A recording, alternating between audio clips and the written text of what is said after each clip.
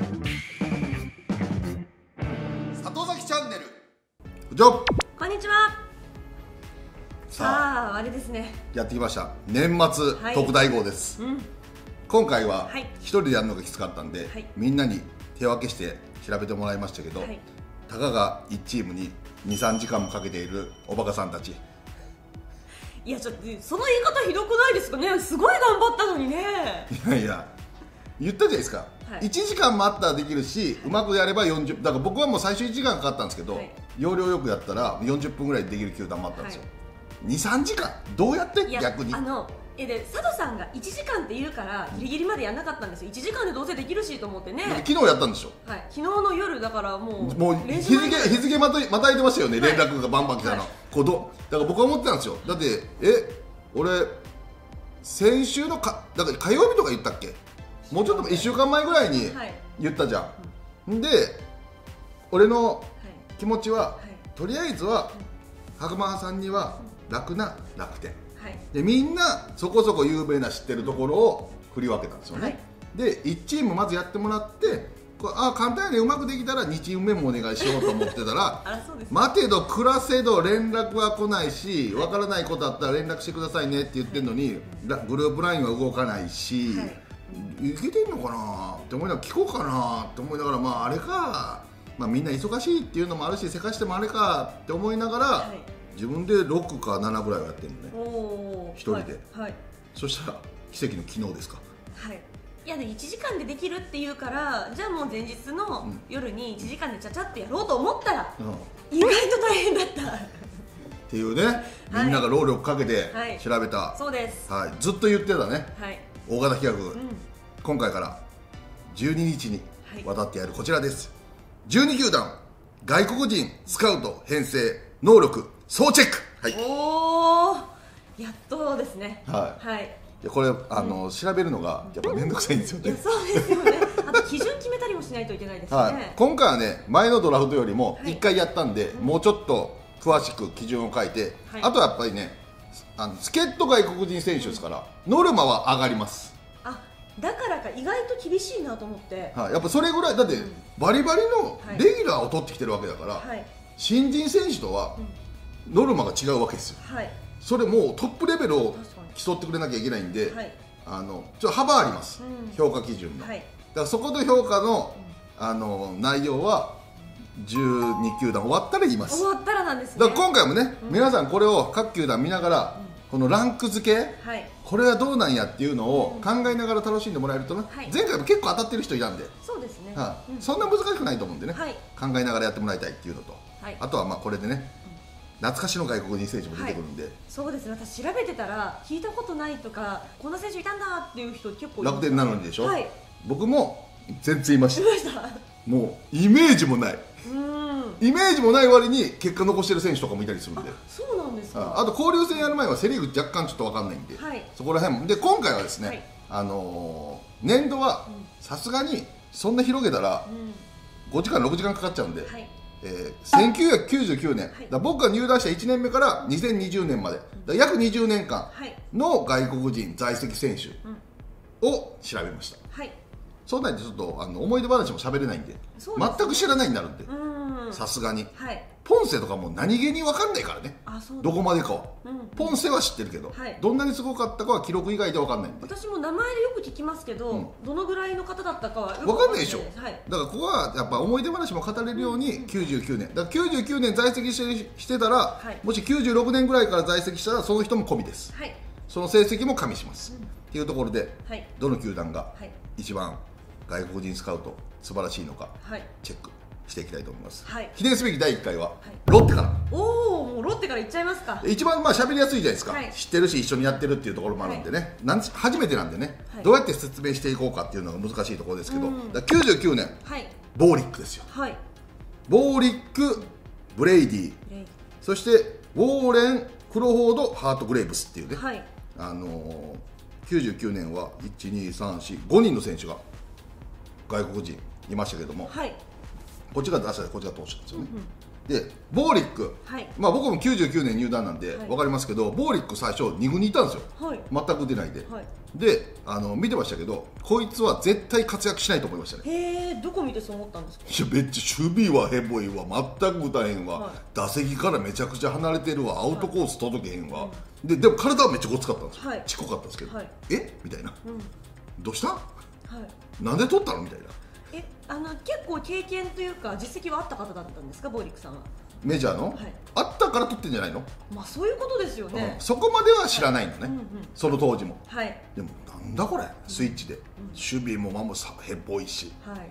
やばいなんて2軍でこれ絶対無理やろ。って言ったら急に上がったんですよ、はい。5月かなんかぐらいに1軍にね、はで4月終わりか、で暴力1軍だって、いはい。え 何もやってないのにみたいな。2軍ですら打ってもないのに。二軍で打ってなかったんですか？打ってない。へえで「いや無理っしょ」って言ったら、はい。上がった瞬間、い。代打でホームランです、でそこから打ちまくって、はい。ボーリック神話ってはい。言われるぐらいん。打って、そこからめちゃくちゃ活躍したんですよ。はい。だって通算成績が2割6分6厘ホームラン92本さおまあ3年ですけどね。はい。だから4年間いたんですかね？そう99年から90 2003年まで。そうそうそうそうそういたんですけど、はい。あ2002年か。2002年まで2ね。年まで、は3年間ですね。い、いたんですけどめちゃくちゃうん打ちまくって、はい。やっべえと思ったですね。あんなにダメだったのにみたいな。そんな変化するもんなんですね。ででボーリックがホームラン打ったら、はい。絶対に負けないっていう、はい。ボーリック神話みたいなのが、はい。あのできたのが最初ですね。うーん。でブレイディも絶対こいつは無理やと思いましたけど、はい。本当に無理でした。あ本当にですねだからよくわかんないよね、そうですねでもまあだからスカウトもいいと思って当たることもあれば当たらないこともありますからね。そうそうそう。うん。あとウォーレンが、はい。あのウォーレンめちゃくちゃすごかったですね、はい。このブレーンで曲がってて、で東尾さん。にボールに傷つけてんちゃうかって言われて、三塁ベンチにはい。指立ててました、おー。アウト取った後。すごいですね。やばかったですよ。あとあのホームゲッツー、はい。ホームにゆっくり投げれないんで、はい。あのピッチャーゴロ全力でホームに投げてきて、はい。暴投です 練習の時とかマジ怖かったですからね、はい。僕まだ入ったばっかりで一軍のキャンプ行って、うんホームゲッツーって言って、はい。そうほんの15メートルぐらいから全力で投げてくるんですよ、まあ、どうやって取るんやみたいな。で案の定公式戦でホームに暴投投げてました絶対無理っつって。だからゆっくり投げれないんですよ。すごいこう闘志あふれる感じの方。うんそう激しかったですね。激しい感じ。どっちか、うん。守護神守護神だったんですよ、うん。あそうなんでタイトルも取ってて、はい。であのクロフォードが、はい。クロフォードはもうあの普通のピッチャーでした。であと牽制大好き。もうはい。牽制ばっかりですよ、サインも出してないのに。早くこっち投げろって思うぐらい。でも普通のピッチャー。気にしいなんですかね。であとハードグレーブスははい。ピプロ入ってから見たピッチャーの中で一番速いと思ったんですね。プロってやっぱりめちゃくちゃ速いと思って、はい。そのキャンプので紅白戦立った時にめちゃくちゃ速いじゃんと思ったけど、ただ俺がヘボかっただけで全然通用しなかったです、まだじゃあ目ができてなかったんですね。はい、でこのここで言うと、はい評価はですね、はい。ボーリックは GAA です、もう GA はい、あとウォーレンが S S でブレイディ・クロフォード・ハードグレーブスは無印です、うん。ははい。い、で続いてはい。これ何時間かかるんだろうね説明するのね。いやそうです。一人一人思い出語ってたらそうなになる、うん、パーッと流そうかな、はい。で2000年出したバリーっていう、はい。あ全く活躍しない選手が来て、であのクリス・ロバーツ、ノットと、はい。ピッチャー受けてても若くても俺はこいつら無理だなと思って全員無印。はい。まあ2000年は誰もね無印。そうだはい、無印。で2001年からあのメイ。はい。メイはメジャーバリバリメジャーリーガーで、めちゃくちゃ評価高かったらしいです、はい。であのみんなから尊敬されてました。で AA です。はい。で2001年から2003年です。でミンチ、あの S はい。来ました広島から、これなんなんのああダメダメ言う評価対象言っちゃいけないんだ。そうですそうです。S はだから S、はい。S はもう、はい。ナイス。もうすごい。もうすごい。S はもうトップ立った。トップ。来てくれてありがとう。ああそうそうもうトップみたいになって、はい。で A はもう取ってきた人大成功。はい。で B はでもね AB でもこれランクついてたら、はい。とりあえずすごいよ。そう。いや私も私今回は評価基準知ってますけど、うん。結構ピッチャー厳しいですよこれは。で野手も厳しいよ。野手も相当厳しいですけど、うんあのピ私楽天やっててピッチャーほとんどランクつかなかったですもん。それぐらいは求めるでしょ。まあもうそうですね。だから今度は先発中継ぎとかね、はい。抑えとか、うん。全部事細かくやりましたけど、はい。助っ人外国人だったらそれぐらいやってくれなきゃ困るでしょ、はい。だからその中でも小刻みにして、だから C は野手もピッチャーも C はもう C はできてないとやばいよっていう。で BA はもうそこからどんどんすごくなっていく。はい。で S は頂点みたいな、うん。だからもう C ある時点で結構すごいんですよ。そうですね、はい。うんそんな感じです、はい。うん、基準は。でもさいだから C 無印ははい。もう、何取ってきとんじゃっていう。はい。っ誰取ってきとんじゃみたいな。ていう感じ。でね一応 D もあるんですけど、はい。もうこれはチーム事情だねっていう。チーム事情で D ついただけで、ん。まあまあみたいな、うん。こんな感じ、うんうん。はい。はい私も基準今回知ってるんで。はい。はい、ミンチは S です、はい。はい。ミンチ僕2002年、初めて開幕スタメンした時のあのピッチャー開幕で投手です、じゃあ思い出深いですね。そうですよ。カーブ。でもコミュニケーションなかったから全く分かんなかったでこっちもいっぱいいっぱいで、でもサイン合わせられるんですか？そういう時は、うん、だからもうなんか相手を抑えるっていうより何あげたいのかなって思いながらサイン出したんですね。あー。へー。あと思考好きはい。A です、うんこの年すごいじゃないですか2000年2001そう年そう入りしかもシコースキーはあの2001年から3年まで来てでまた8年から9年来て、はい。で西武とかヤクルトとか他の球団も行ってるんで、はい。シコースキーでもシコースキーめっちゃいいやつなんですよ、うん。すごい素晴らしい、はい。今まで出てきた中で一番いい選手です何？人間的に。へえどういう時？コミュニケーションもいいし、はい。あのその素直だし練習めちゃくちゃするし、はい。めちゃくちゃ一生懸命だし、人間的にも素晴らしいです、へえ後でちょっとちゃんと顔チェックします、で2002年誰もいないんですよ。いないですね、はい、だからここら辺はボーリック・メイがいるんで、はい。だこの優秀な選手を取った場合ははい。人取ってないんですよ、うんうん。その選手だからボーリックとメイが2001年から多分あの2年3年までやってるんであ多分2そうですか年に外国人取る必要ないんですよ。そうですね。ボーリックとメイがいるんで,、はい。でピッチャーもあのミンチーとシコースキーがいるんで、やっぱり4人しか取れないんで、はい。だここ2年は取る必要ないんですよ。ね、うん。それぐらいいい選手が取れたってそうです。ピッチャーミンチーシコースキーバッターはボーリックメイっていうのがいるんで、はい。なぜそれなのにうん。勝てないっていう。はい。A もいて A もいて S もいてなんで勝てないっていう。はい日本人選手が。ダメだったんでしょうね。はい、すみません言っちゃったはい。で2003年、はい。ホセフェルナンデス来ます。おおはい。A です。えであの2000リック・ショート。はい。あのレフトで,、はい。であのホームランはないけど、まあ、10本ぐらい打つけどもう3割打つっていうね、はい。完璧アベレージヒッターでしたけどショートもいいリックもいい選手でしたよね。二人ともじゃもともとロッテにいて楽天来てそうそう2003年ロッテに来て、はい。でレフトでねいつも飛びつく。やめてーと思いながら、うん。もうあのハッスルプレーしすぎて、あの取れるかどうかを飛びつくのはいいんだけど、はい。絶対取れないやつも飛びつくから。キャッチャーから見てて「違うやめてー!」と思って飛びついて三塁打。うん ガクってくる。でもそれぐらい一生懸命。あとはい俺の初めての規定打席、到達するかどうかの時に楽天で、はい。あのタックルされて肋骨骨折。お前チームメイトだったやろっていう。骨折？そうそうそうそう。で2004年、はい。ここからボビーです。お。ベニー・フランコ、うん。イー・スンヨプっていう最強の選手が来ます。この辺よく佐藤さんから聞きますね。はい、うん。だからベニー A、イ・スンヨプ A、でフランコが GA です、お初めて G で G ボーリックに次いではい。出てきましたね。新しい査定 G は何なんだろうっていうね、はい。GA、でピッチャーはセラフィニ。はい。B です。みんなランクついてますね。そうなんですよ、うん。いやっぱボビーが連れてきたのはすごかったですね。はい。でベニーは2004年から9年までフランコは2004年から6年まで。でセラフィニ4年から5年イ・スンヨプは4年から5年いたんで、複数年いるじゃないですか、ん。で5年にパス口来ますはい。あのう当たったらすごかったです、はい。バッティング練習はね一番すごかったかもしれない、パス口が。でもね当たんないの。ああ。とあの短い期間だけ活躍する。はい。ポッと来てパッと終わるね。でも当たったらすごい。当たったらめめっちゃ期待かかるけど、ん。アウトなくなったでもフィアンセはめっちゃスタンドで言ってたらしい。うちの使ったらもっと打つのになんで使わへんのやって言ってたらしい。婚約者。はいで、えー2006年ワトソン、ワトソンもいきなり来てめちゃくちゃ打ったけど、はい。やっぱりこう長く続かなかったね、うん。無で印。はい、で2007年オーティズ、これオーティズはあのーこれもオーティズもオリックスいたりとかオリックスから最初いてロッテに来たのかな、はい。セカンドを抜けてグローブ投げちゃってはい。ボールに、はい。で当たってスリーベースになったっていうプロで初めて見たっすね。へえそんなプレーが。でボビーにめっちゃ怒られてたっす でもなんでグローブ投げたか微妙、少年野球以来初めて見た。プロで。グローブ投げて一塁が抜けていったやつグローブ投げて当たるっていうよく分かんなかった、オーティズ。へであとロッテの時にオーティズに聞いた一番衝撃な話が、やっぱ外国人選手でファミリー連れてくるじゃないですか、はい。で子供もロッカー来てて、結構複数にいて子供が、はでその時2人いて「え何歳何歳?」って言ってたら最初あのえっとねあの時何歳って言った？の5歳と5歳って言ったのかな。はい。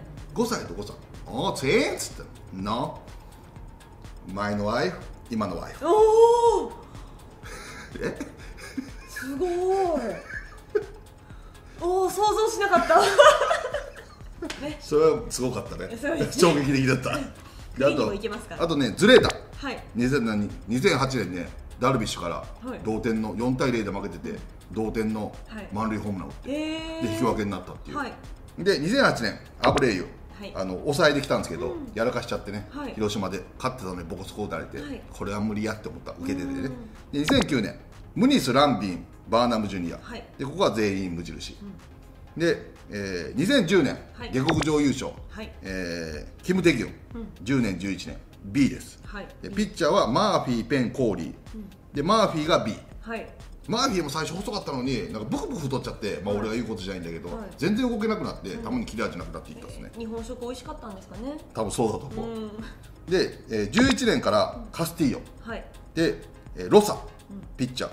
BB です。おー。ロサは本当にいいやつで、はい。ロサいきなり最初来た時に、まあストレートが持ち味じゃん。中継ぎだからね、はい。でストレートバンバンだけで最初打たれててその時の監督コーチから、はい。もうあの変化球なもっと投げろストレートばっかり投げんなって言われたらしくて、で俺になんか聞きに言いに来たのね、はい。俺キャッチャーだったからね、こうやって言われたって言うから、どうしたらいいかも今分かんなくなって悩んでるって言って通訳と一緒に来たから、はい。じゃあ佐藤どうしたらいいと思うって、そんなやつらの言うこと一切聞かなくていいって。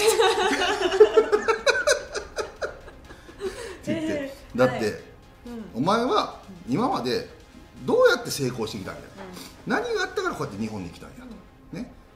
い一番の持ち味と得意なのはストレートちゃうんかと？はいだそうやつ、それで今まで野球界で生きてきたわけや、はい。それをなんで今更変える必要性があるんだと、だからお前は思い切ってそれを投げとけいいんやと、あとはこっちが左右で指図してううまく抑えれるようにやってやるから、そんなもんお前いいもん出しとけへんからまっすぐまんま投げとけいいんやっつって、はい。変化球なんてたまにそれを生かすために投げればいいだけで、今更変化球投手になっても持ち味消えてるやろって言ったら、はい。うんって言うからもうあの次の時もそんなやつら言うこと一切聞かなくてもいいから俺の言う通りやっといたら抑えてやるからあの思い切ってこいっつって。うん。っつって帰っていって、えー。もう次の試合まっすぐばっかり出して抑えてやっていいよっしゃっつって。でそしたら、はい。もう何でもいいこと聞く思惑通りみたいな。そうそう全力で変化球たまにだけ投げてはい。ま、っすぐ行かすだけのために、でまっすぐばっかり投げて抑えてガッツポーズしてで終わった後「ほらないけるやろ。俺言った通りやったらいけるんや」っつってだからしょうもないこと言うこと聞かないで何かあったら俺全部言ってこいっつって、はい。もうそこからもう超いい関係えー、いいですね。そういうのもね外国人投手には大事、はい。だってやっぱり異国の地に行って、周りに知ってる人もいなくて頼りたくない時にそうやって言われてやっぱ悩むじゃんね、あそうですね。だからそこを悩ませないマネージメントも、まあ、俺は大事だと思うはい。であとマクローリー、登板ゼロ。何しに来たんやっていう話ね。はい。あのだからなんで取ったんやっていうね、うん。で12年ホワイトセル。ヤクルトから。はい。無印。で13年ブラゼル、はい。ね、無印。